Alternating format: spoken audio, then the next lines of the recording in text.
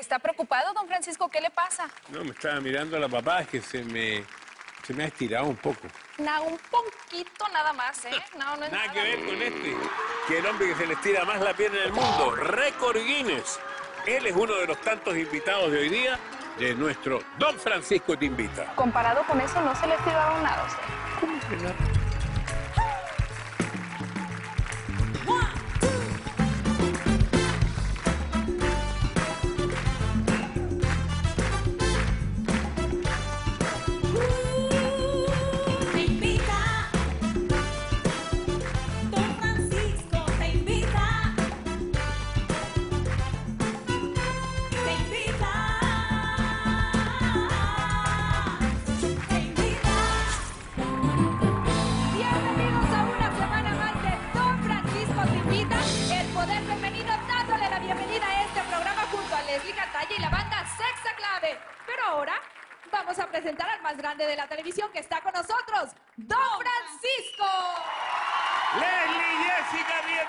Junto a Sexta Clave. Una nueva oportunidad para estar con nuestro público. Nuestra primera invitada pertenece a una verdadera dinastía artística mexicana, actriz, cantante, compositora. La vemos de lunes a viernes a las 19 centro en Telemundo como la malvada Blanca en el Chema. Este aplauso es para recibir a la actriz Itati Cantoral.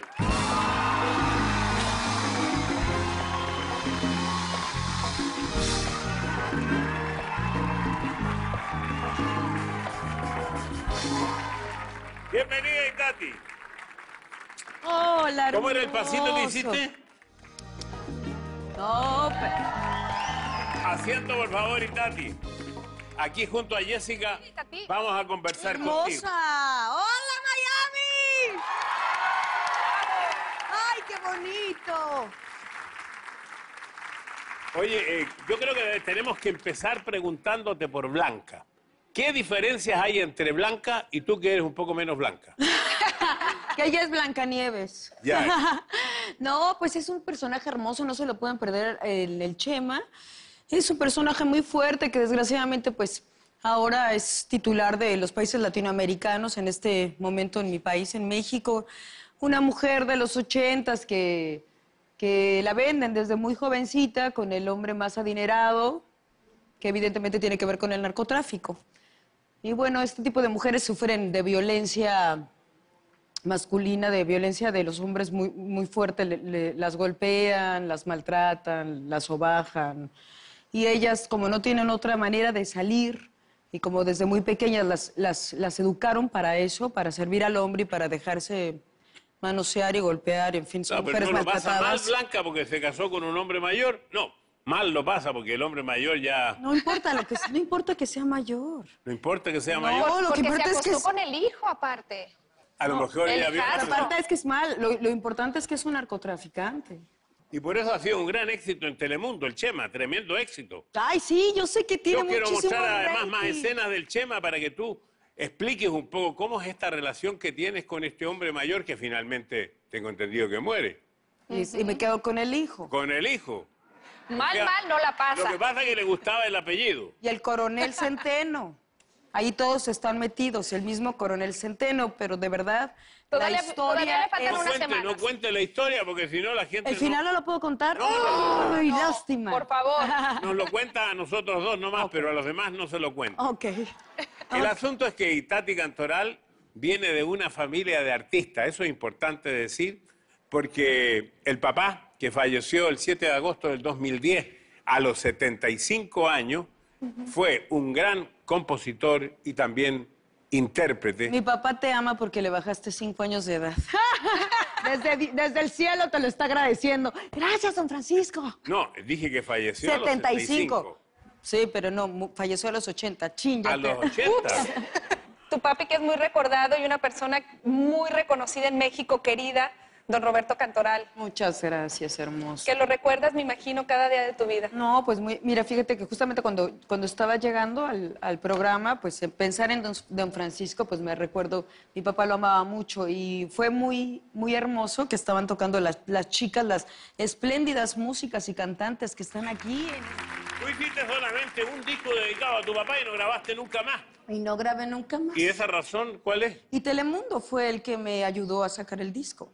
Claro, pero esto ya fue hace unos añitos, ¿no? Unos añitos. Y se llama Y te canta Roberto Cantora. 2004 fue. En el 2004. Siempre me gustó más actuar que cantar y la verdad eso lo hice Ah, porque- siempre te gusta más. Por eso ya llevas 20 telenovelas. En realidad, desde el 2003 como Eugenia Granados en Alma Herida. El 2006 fuiste Alicia Guardiola en La Viuda de Blanco. Aquí en Telemundo. En 1996, María la del Barrio. Eso fue tremendo, tremendo éxito. Un personaje por el que todo mundo la recuerda. ¡Mira, cállate, maldita lisiada! ¡Ay! Me asustó. ¿Qué haces besando a la lisiada?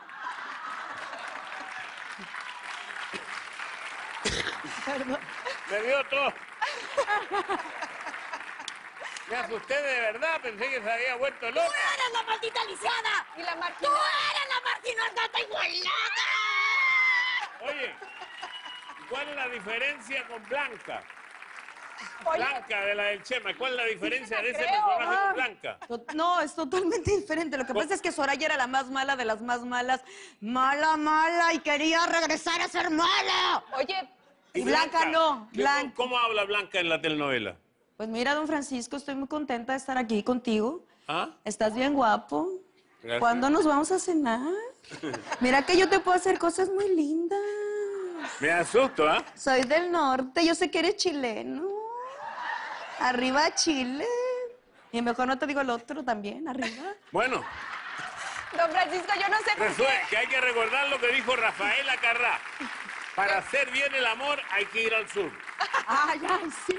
Yo soy del último sur allá. Yo no sé qué le asusta más, si Blanca o el personaje. ¡Cállate! ¿Ve? ¡No puedes hablar en este programa! Ese es el que me asusta más. ¡Salga a de aquí! ¡Es mío! No, ya, ya no la quiero ¡Don aquí. Francisco es mío! Hablemos un poquitito de, de la parte familiar. Tienes dos gemelos que tienen 16 años con Eduardo Santamarina. Papacito.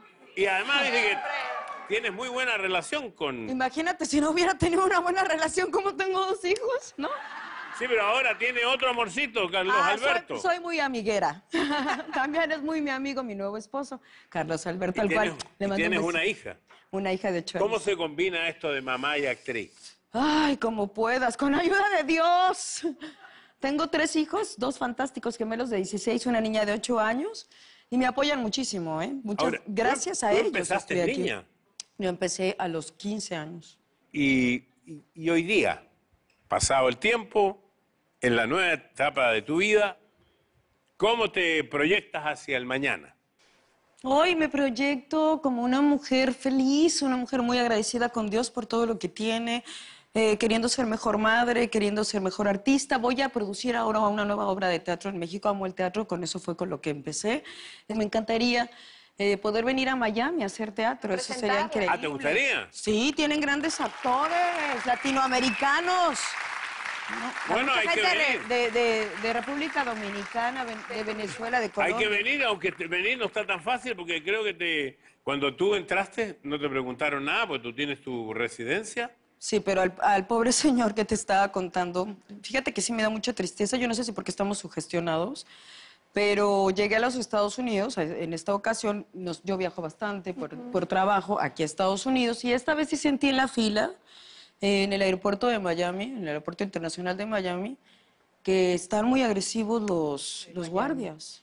Había una oficial ya mayor que le gritaba tan feo a un latinoamericano, pero que el latinoamericano no estaba entendiendo el idioma. Y ella pensaba que era sordo y era muy, muy, muy terrible estar ahí al lado de él y no poder hablar. Porque yo dije, ahorita van a quitar mis papeles, pero yo tenía muchísimas ganas de verdad de voltear y decirle, no le está entendiendo el idioma, no tiene por qué gritarle. Pero la sensación fue muy difícil. De hecho, venía acompañada con una persona que tiene visa de solamente de turismo, de turista, y salió tres horas después. Y sí se siente un ambiente muy denso. Muy diferente al de... No, ya hasta te dan ganas de decir, no, no soy mexicana, ¿eh? te lo juro. Y no, es al revés. Bendito Dios que soy mexicana.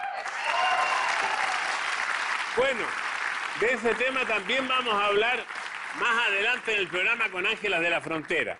Pero nuestro próximo invitado tiene varias cosas en común con eh, Itati, ¿verdad? Totalmente, don Francisco. Fíjese que él también comenzó su vida artística prácticamente desde que nació.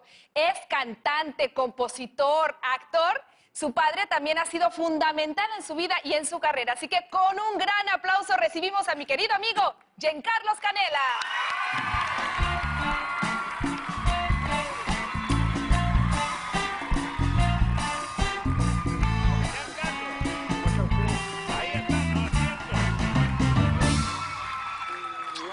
Bienvenido al programa, Giancarlo. ¿Cómo están? Buenas noches, buenas noches. Adelante. Gracias. Mamacita. Giancarlo nacido en Miami. Nacido en Miami, nacido en Hialeah, que queda cerca de aquí. Yo siempre lo digo con, con- con mucho De orgullo. padres cubanos. Así es, así es. Y a- aprovecho para decir, ya que estamos hablando de Hialeah, hace unos días la 16 Avenida eh, eh, me dieron el honor de, de nombrarla Giancarlos Canela por unas 10 cuadras y yo jugaba en esas calles, mi gente, soñaba en esas calles y ver eso es, una, es un gran logro para nosotros y se lo agradezco al alcalde, a la ciudad de Miami y a mi ciudad de Hialeah. Bueno, y Jessica, ¿qué cosas más tienen en común ambos? Fíjese, una parte fundamental en la carrera de ambos ha sido sus padres, que tu papá, Giancarlos, ha trabajado contigo desde siempre, es tu manager, tu mejor consejero. Ahí ha estado mi papá conmigo desde el principio. Mi papá, oye esto, yo, yo siempre cuento esta historia porque yo canté por primera vez con siete años en el patio de mi casa. ¿En la y, eh, fiesta? eh, en la fiesta, exactamente. Y mi papá no conocía a nadie en la industria y cuando se enteraba que el vecino iba a hacer una fiesta, eh, le tocaba la puerta al vecino y decía, mira, ¿tú, tú, tú crees que mi hijo puede cantar unas cuantas canciones aquí en tu fiesta, estilo? Y así empecé, de patio en patio, de casa en casa, en, en, en Hialeah. Y yo, yo cuando, yo a los siete años, ocho años, y yo montaba mi bicicleta y el vecino decía, mira, ese es el niñito que canta. Y yo decía, uy, estoy pegado. Estoy pegado, estoy pegado, aquí en Hialeah estoy pegado. Bueno, tenemos al hombre elástico, tenemos a quien ha dirigido Los Ángeles de la Frontera, los tenemos a ustedes y vamos a hablar más con Giancarlo Canela.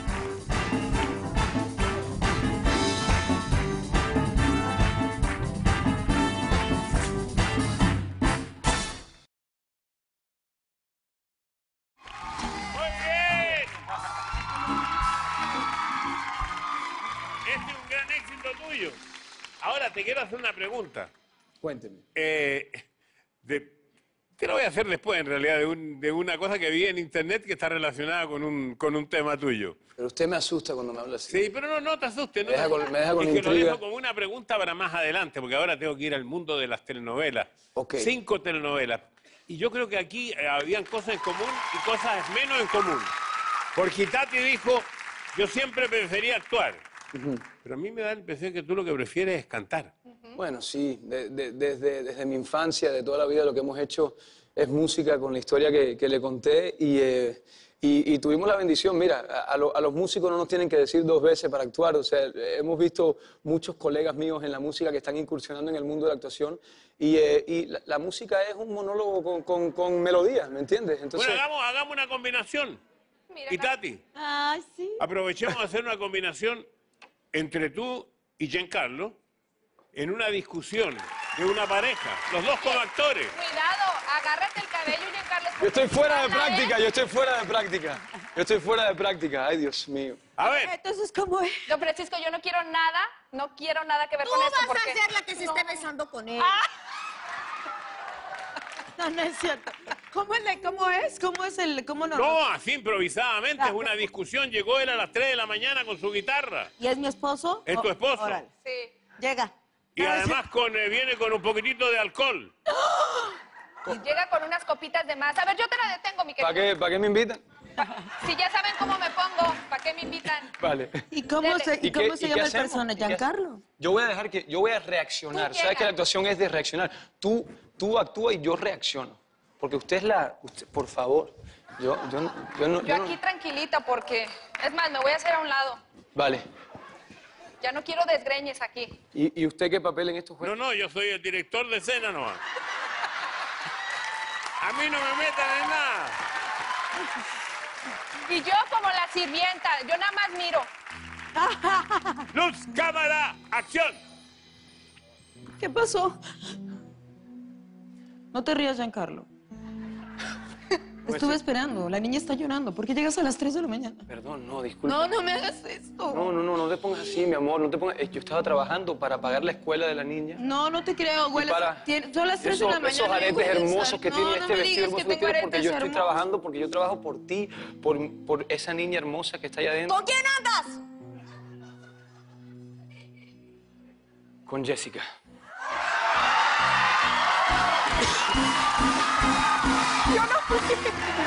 ¡Toma! ¡Toma! Muy bien. Giancarlo, eres un éxito. Tremendo. Buenísimo. Tremendo lío. Y, y te- y ya que tú dijiste antes, ¿para qué me invitan? Yo vi esa escena en, en internet de un tipo dice, en YouTube, borracho, que no la pudimos mostrar ¿Para qué me porque hay que invitan? pedirnos ¿Saben cómo derechos, me no sé pongo? dónde. Dice, ¿para qué me invitan? ¿Sí saben cómo me pongo? Si ya, si Claro ya saben cómo me pongo, ¿para qué me invitan? ya saben cómo me pongo, ¿para qué me invitan? Estaba ahí, el- ahí nace el tema. Lo hace igualito. Oye, lo haces igualito. Sí, pero ahí nace el tema. Mira, honesto, yo te, voy, yo te voy a ser sincero. El tema nace porque estábamos en el estudio, Farruco, Mafio, un grupito de nosotros, y estábamos jangueando, o sea, compartiendo, y alguien le- se le cae una- un, un vaso. Y entonces yo, con los acordes que estábamos jugando, yo empiezo a cantar. eh, Bueno, déjame entonces eh, repasar un poco tu carrera artística. ¿Qué pasó? ¿Qué dices? Qué bueno es. Ay, no. Eres de más, de verdad, eres muy bueno. No te vuelvas a enamorar y Viniendo de ti. Ya lleva dos veces ya. Contigo es la tercera. No hay una No hay tercera tercero mala. malo. Ahora, ¿tú viste al principio el tipo que se estiraba la Yo piel? lo vi, yo, lo- yo- yo- yo lo vi en la pantalla y, y yo quiero ver eso en, en persona, me parece interesante. Pero, pero y se estira toda, toda la piel, to- to- Bueno, todo. eso lo quiere preguntar yo todavía, pero aquí está Gary Turner.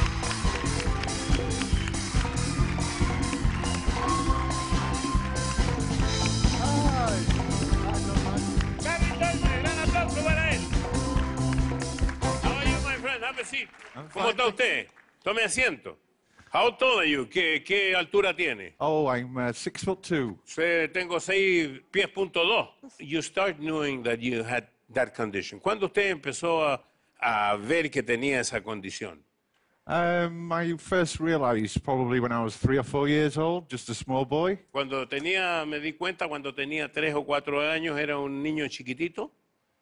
When you start publicly to do that? Cuando usted públicamente Um, empezó a hacer esto. From leaving school, I was um, in construction until I was around 30 years old. Cuando yo tenía And, 30 años más o menos, and then from about 30 years old, I did a newspaper article. eh, a los 30 skin. años hice un artículo en un diario And then Guinness World Records got in touch and y invited me. el, eh, el, el Récord Guinness. Récord Guinness, en realidad entró el libro, lo llamó. Uh-huh. And you are the record Guinness in the world. Yeah. Voy a explicarle al, al público, ¿sí? De que el- el- la madre, el abuelo, el bisabuelo y el tatarabuelo tenían la misma condición. Y él me explicó de que es posible que durante 20 generaciones no se repitiera, pero que en algún momento se va a repetir. And you don't want to have a child. Usted no quiere tener un hijo because you don't want to have somebody with the same condition. ¿No quiere tener No, alguien con la no. misma condición? I'd rather not. No, no. Yo prefiero que no. Ok. What we can do? ¿Qué es lo que podemos hacer? Would you like me to show you? Ya, claro, ¿quiere Yes, claro, no. Prepárense, por favor, para ver lo nunca antes visto. Okay, here we go. ¿Esto resultará mira. yendo a la playa también?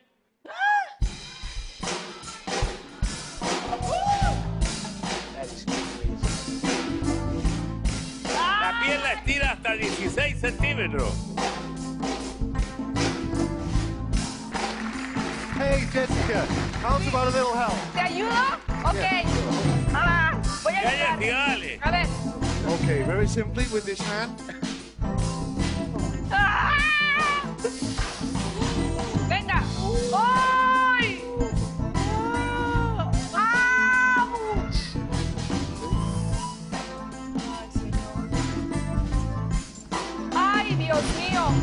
Me da miedo estirarle, pero.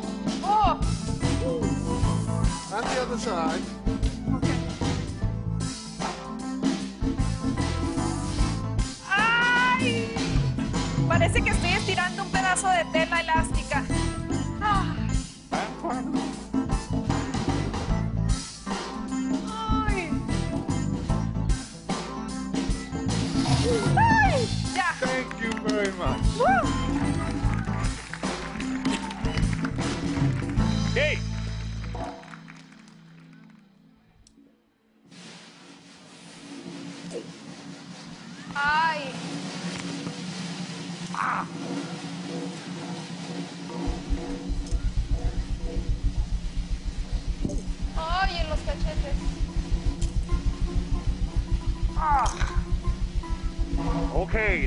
Original Mr. Batman.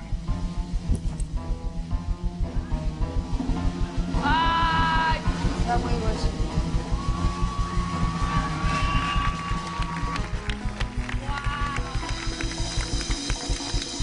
¡Bravo! ¡Aplauso para Gaby! Thank you very much. Thank you Un aplauso.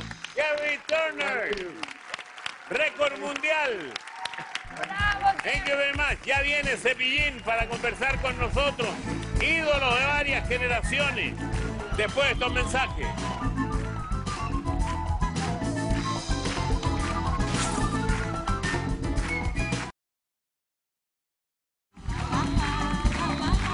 Este Don Francisco te invita con Itati Cantoral y Giancarlo Canela. ¿Qué les pareció esto de Gary Turner, el hombre que se podía estirar la Incre- piel? Increíble, yo te, yo te vi a ti muy fascinada con, con lo que estás. Ah, no. Yo sí. ¡ah! ¡ah! ¡ah! Me dolía a mí. Nuestro próximo invitado era dentista. Y para quitarle el miedo a los niños, se pintó la boca. Después se pintó la nariz. Y así con el tiempo un día lo invitaron a un programa de televisión y cuando lo vieron y explicó cómo los niños debían lavarse los dientes, este señor Ricardo González le ofrecieron un programa. Ha estado muchos años en la televisión y recibiendo aplausos durante décadas. Su personaje realmente, el conocido, es Cepillín. Un aplauso para él.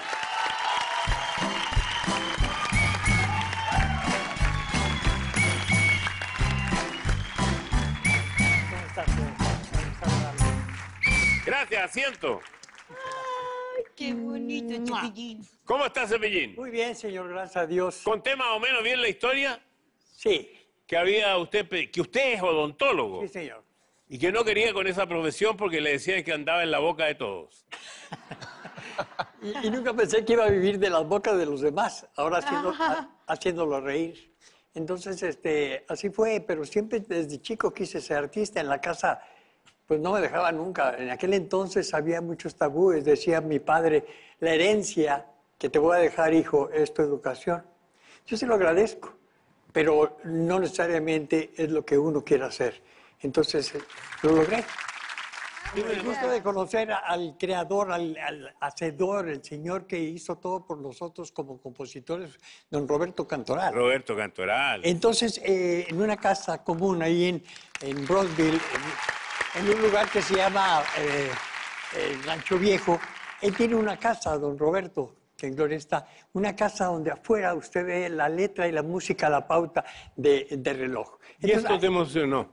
Sí, Claro que me emocionó porque yo iba, nosotros íbamos, mi hermano y yo, nos íbamos a la casa de Cepillín, pero solamente para que saliera y pedirle una foto. ay chiquillos. Y me acuerdo que nunca salió, pero un día sí estuve toda una tarde porque sabíamos que viví en, ¿cómo se llamaba la calle Pizarro? Sí. ¿Ves? Me acuerdo hasta la calle era Pizarro porque era un- es un club de golf. Y estuvimos, yo creo que como de la una de la tarde a las nueve de la noche. Yo lo único que quería era que saliera este cepillín. Entonces, agradezco mucho que me hayan...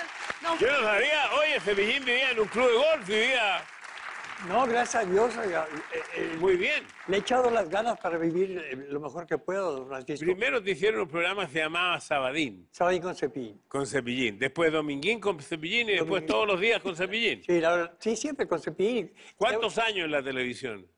En Monterrey, seis. En México, tres todos los días. Luego un año y medio en 1985 con eh, Super Sábados. Luego hicimos este, Vamos a jugar jugando. Y luego, la- eh, siempre, siempre con cepillín. ¿Por qué, Francisco? Porque lo quitan a uno y meten a otro. Y si el nombre del programa es cepillín, pues no pueden meter más que a cepillín. ¿Eh? Oye, ¿por qué sigue usted trabajando? Usted tiene 75 años. Sí, 71, pero, pero, 71, 71. Le voy a decir una Nos cosa. ha subido la edad, ¿eh? 71. Soy de 1946, don Ya. Francisco. Pero le voy a decir una cosa. Yo puedo hacerle todavía así, como hacía yo en el... Así, la verdad. Entonces, Aquí voy yo. Tan eso, rápido, ¡eh, pero- eh, eh! ¡Ahí, eh! 76. ¡Es él! Sí, sí. Y le voy a decir una cosa, don Francisco. Yo me retiro y me muero. No lo podría hacer. Bueno, yo me retiro y me muero. También. Y la Por lo tanto, no nos retiramos ni nos vamos a retirar.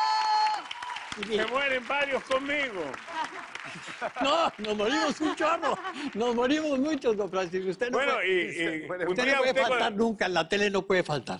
un día usted Bueno, se casó con Aide Guajardo, sí, mi esposa. tiene tres hijos, Sí, señor, Ricardo. pero los hijos hacen lo mismo que el papá. Sí. Ahí están con Jessica. Ahí están. Don Francisco, está conmigo Ricardo Seppi y Roberto Franchi. Y obviamente ustedes han seguido los pasos de tu papá, una inspiración. Imagínate, si es para uno que lo seguimos de genera- ge- generación en generación, ya me imagino para ustedes. Seppi. Así es, estamos muy contentos de estar con mi papá en el show. Ya llevamos alrededor de 15 años actuando con él en el escenario. Y pues es nuestro maestro, la verdad. Muy, muy contentos. Mira, don Francisco, tienen mucho de qué sacar del querido Cepillín. Sí, sí, la verdad. Y le voy a decir una cosa, ¿Está emocionado, Cepillín? Sí, muy emocionados. Son mis hijos, es por los que trabajo. Es por los que me entrego. Yo les digo, tengo 45 años casado con la misma mujer. No, no se olvide de la, no se olvida de la señora. No, no, no. ¿Cuántos años llevas de casado? 45 años de casado con mi esposa me ha aguantado todo ese tiempo. Y sí, un día, un día hablé cuando estábamos recién casados, hablé con mi confesor, con mi sacerdote, le dije, oiga, padre, fíjese que yo sé que muchas gentes este, árabes y así eh, pueden eh, casarse muchas veces o tener todas las esposas que ellos puedan mantener. Le dije, lo podría hacer yo porque estoy, estoy ganando lana, o sea, lo puedo hacer. Dijo, sí, ¿cómo no? Dijo, ¿de veras, padre, puedo tener más mujeres? Dijo, sí, pero primero acábate la que tienes en la casa. ¡Ay, qué Y, bonito! y- y casi, le puedo, casi le puedo decir que ella ya acabó conmigo, o sea, la verdad. Muchas gracias A por usted, estar señor, con yo- nosotros. No, yo le agradezco mucho, mire. Es increíble lo que usted ha dado por este país, por Estados Unidos, pero no nomás por Estados Unidos, por todos los latinoamericanos, señor. Usted nos ha enseñado el mundo. No es coba ni barbero ni nada. Es reconocer lo fregón que es. Así lo digo, así decimos en, en México. Usted es un fregón. Gracias. Gracias, Cepillín. Pero lo que yo hago, lo que incluso tú haces, es mínimo frente a lo que hace nuestro próximo invitado, que yo lo bauticé el 2001 como Ángel de la Frontera. Y yo quisiera que lo recibiéramos con un gran aplauso, porque es un hombre que estudió si- sociología, psicología, eh, oceanografía, marketing, francés, pero hoy día está dedicado a ayudar a su gente. Lo vamos a recibir con un aplauso. Aquí está don Enrique Morones.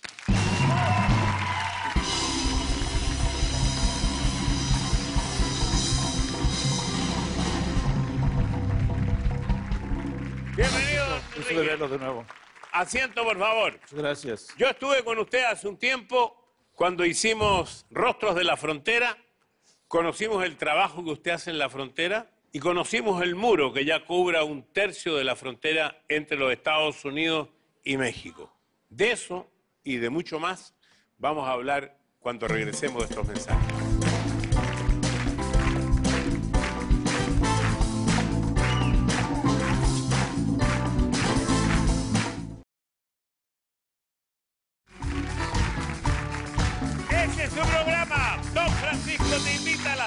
Centro aquí en Telemundo. Él es nacido en eh, California, San Diego. San Diego, California, Así es, don en México. Yo nombré todas las profesiones que usted había estudiado, pero usted cambió y dedicó su vida a otra cosa. ¿Qué lo motivó a eso? Pues Porque para mí- primero hizo la Casa México, ¿no? Este, la Casa de México para el Parque Balboa, para promover los, el orgullo de es que ser mexicano, ¿no? Como un servidor. Pero Ángeles de la Frontera fue algo que inicié en 1986 porque una amiga del Salvador me dijo, oye Enrique, tenemos gente que vive aquí en las barrancas, necesitan ayuda. Y así es cuando empecé a ir yo, gracias a los valores de mis papás y de mi fe. Y no había muro en ese entonces, 1986, y me partió el alma ver gente viviendo en esta situación. Entonces pensé que iba a hacer esto por unos, no sé, dos, tres meses. Ya son 31 años de Ángeles de la Frontera. Usted era gerente de marketing, vicepresidente de los Padres de México, usted era beisbolista. Así es, de los padres de San Diego. Entonces, cuando empecé a llevar el agua, no, eh, a, ir a las barrancas, no había muro, pero en 96 puso un muro el gobierno americano. El señor, este, presidente Reagan le dijo al presidente Gorbachev, tumba este muro.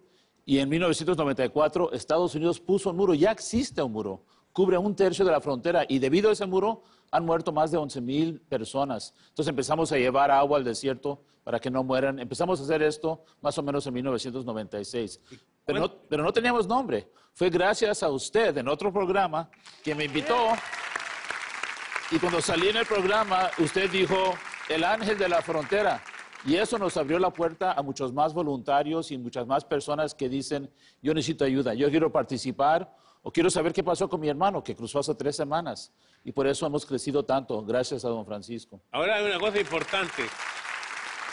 Desde este nuevo gobierno, ¿cómo ha cambiado eso? Porque yo estuve con usted en la frontera, hicimos rostro de la frontera. Eh, estuvimos en San Diego y también estuvimos en Tijuana. Ahí estamos viendo las imágenes. Y eh, sentimos, nos dimos cuenta de, de la frustración, del dolor de la gente que no se podía reencontrar o que se reencontraban solo para tocarse con un dedo. Así es, don Francisco, pues pueden ver este, en el Parque de la Amistad, que es un parque sagrado, donde familias se encuentran para poder saludarse. Aunque sea apenas tocarse el dedo, es algo muy significativo. Pero después de que entró esta nueva administración, ha cambiado todo. Hay mucho miedo en la comunidad. DACA, DAPA, ¿qué pasa? Van a venir por mí. Entonces tenemos servicio de abogados gratis cada fin de semana, ahí en el Parque de la Amistad. A mí me gustaría saber si Giancarlo y Tati ¿qué- quieres consultar algo, quieres... Yo quiero estar ahí. Acompáñanos, puedo por favor. ayudar? ¿Nos, nos pueden acompañar? Muchas gracias. Este, para mí, yo me, yo me puse a llorar hace ratito porque Reloj no marque las horas es una de las canciones favoritas de mi mamá. Y, y, pues, me acordé de mi papá que falleció y todas las personas que están falleciendo debido a este muro. Es muy triste lo que está pasando. Y solamente con el amor le ganamos al odio. Y esta persona que está en Washington ahorita está promoviendo odio. Yo quisiera, yo quisiera añadir algo importantísimo porque hemos estado hablando desde la primera vez que nos conocimos hoy día y sabes que tienes mi apoyo incondicional y está- hemos estado hablando, hemos estado hablando y dándole mucha, mucha atención al muro, al muro físico que se está hablando en construir y lo que tenemos que también enfocarnos por encima a la par con ese muro físico es el muro social que existe dentro de nuestra comunidad latina, entre nosotros. Ese es el muro que tenemos que derrumbar y tenemos que unirnos como latinos, como seres humanos, seamos cubanos, que yo me siento orgullosísimo de mis raíces cubanas, de ser cubano, pero me siento orgulloso de hablar el idioma del español. Y cuando yo escucho a alguien hablar español, lo considero un hermano para mí y eso es lo que tenemos que trabajar. Bueno, quiero decirle que están los dos invitados. Esto es el 30 de abril. Pueden estar en San Diego o pueden estar por el lado de Tijuana, porque se abre la puerta justamente en Yo de esos lugares. Tijuana. La campaña que tenemos, don Francisco, es que el amor no tiene fronteras. El amor no tiene fronteras. Eso se lo doy a usted. Bueno, muchas gracias. Para que nos pueda acompañar y, y para que nos acompañen el 30 de abril. Estaríamos Todos pueden participar. Encantado de acompañarnos. Muchas gracias. Vamos a ir a unos mensajes porque después Giancarlo nos va a cantar. ¿Para qué me invitan? Yo los invité, así que aquí está.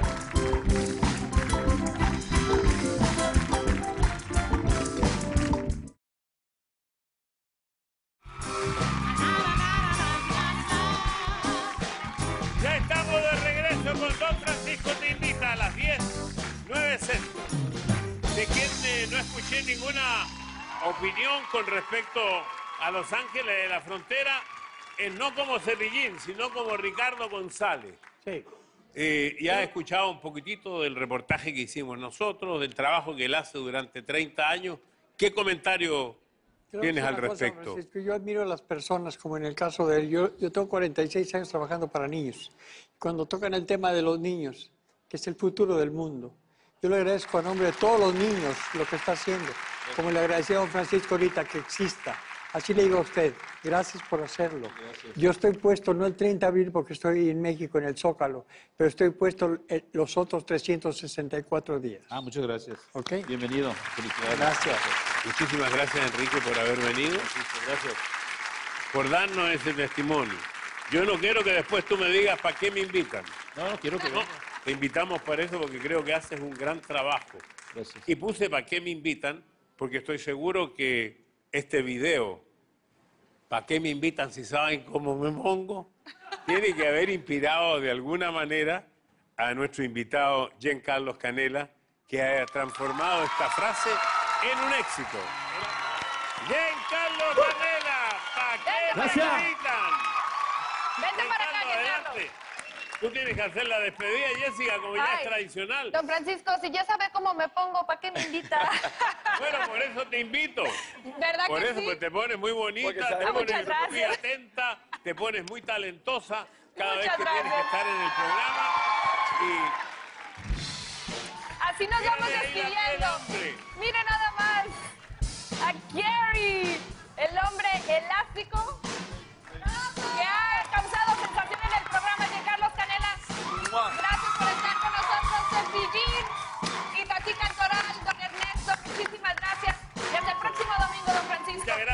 todas y a todos. ¿ah? Muchas gracias.